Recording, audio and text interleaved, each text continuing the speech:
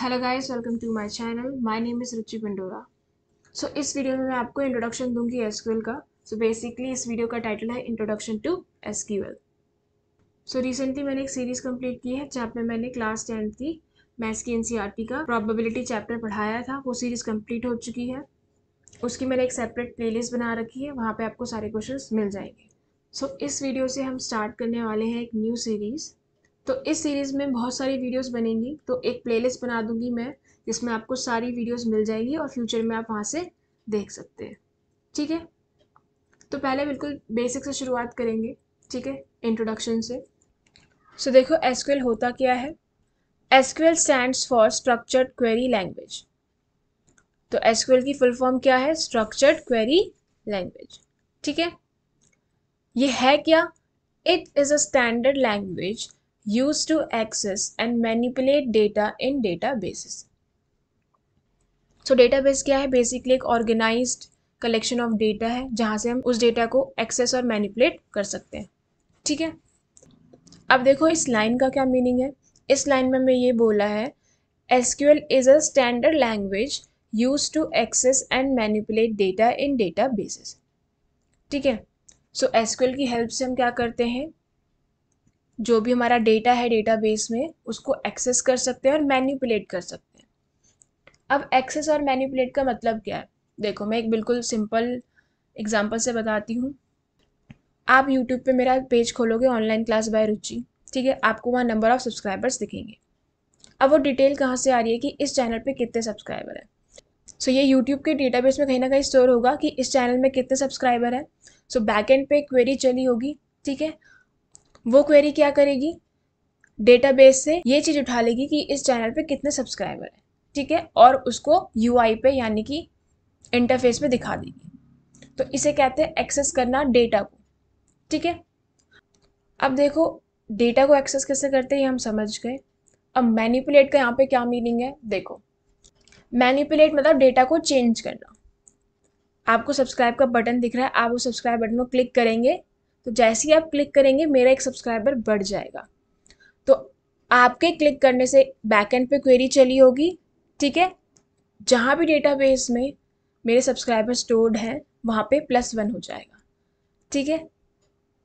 तो इस तरीके से हमने डेटा को मैनिपुलेट कर दिया, ठीक है? और जैसे ही आप प्लस वन करोगे, मेरे सब्सक्राइबर भी प्लस वन काउंट हो जाएँगे और आपको डिस्प्ले भी वही होगा, ठीक है?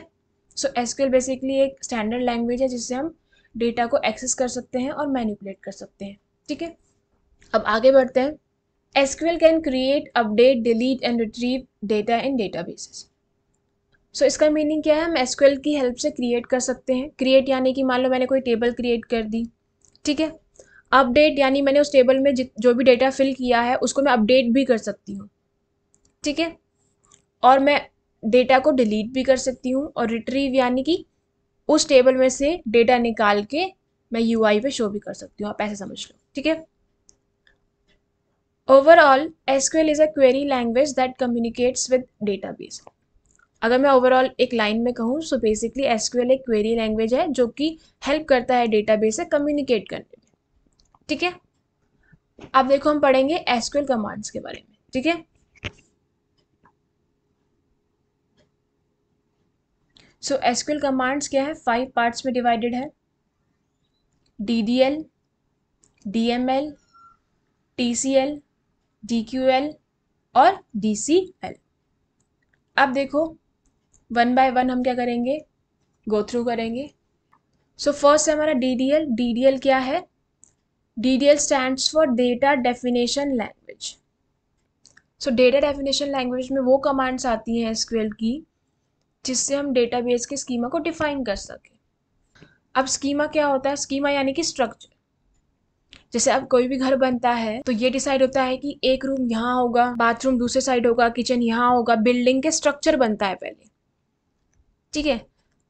आप घर में पहले वॉल्स खड़ी करते हैं, ठीक है? देन आप घर के अंदर सामान लाते हैं। ठीक है? सिमिलरली डेटाबेस के साथ भी होता है। पहले आप स्कीमा बनाते हैं, फिर देन स्कीमा के स्कीमा यानी कि स्ट्रक्चर बनाते हैं। और उसमें देन आप डेटा फिल करते हैं। सो so, डी में वो कमांड्स आती हैं जिससे हम स्कीमा यानी कि स्ट्रक्चर बिल्ड करते हैं। तो इसमें आपको दिख रहा है कौन कौन सी कमांड आती हैं? क्रिएट ड्रॉप ऑल्टर ट्रनकेट ठीक है? अब हमारी नेक्स्ट कमांड क्या है? डी एम एल अब देखो डी एम एल क्या है? D M L stand for data manipulation language आपको मैनिपुलेशन वर्ड सही समझ आ रहा होगा इसमें क्या होता है?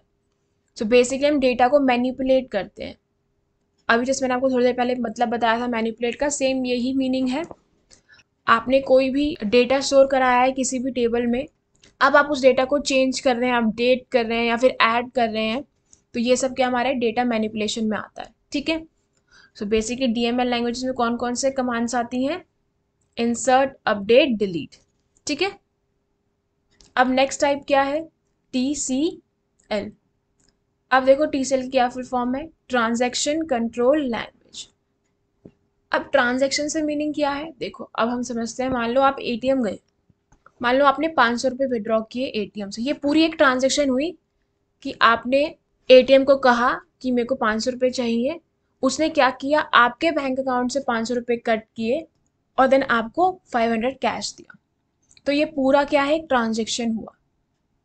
ठीक है? अब टीसीएल की नीड क्या है? सो बेसिकली डेटाबेस में हमारा डेटा कंसिस्टेंट रहे, इसलिए हम ये टीसीएल यूज़ करते हैं। अब कंसिस्टेंट से मीनिंग क्या है? मान लो मान लो आपने बैंक अकाउंट से एक शॉपकीपर को पेमेंट करनी है, ठीक है? और आपने मान लो सौ रुपये की पेमेंट कर दी तो आपके बैंक अकाउंट में हंड्रेड रुपीज़ कटने चाहिए और शॉपकीपर के बैंक अकाउंट में हंड्रेड रुपीज़ होने चाहिए।